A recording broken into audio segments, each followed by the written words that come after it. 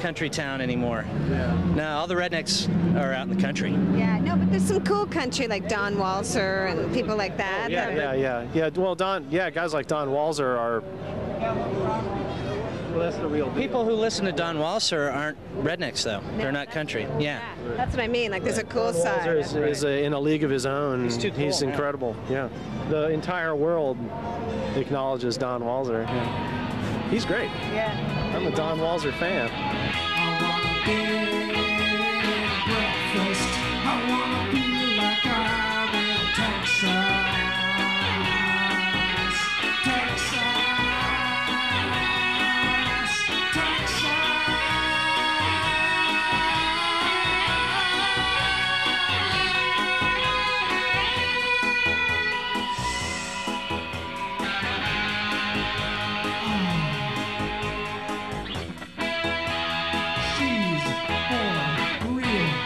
All the weirdos in Texas go to Austin because they're tolerated here. Austin is pretty cheap, you know. I don't know, I guess it's getting more expensive, but I still got some of that old cheap rent, you know.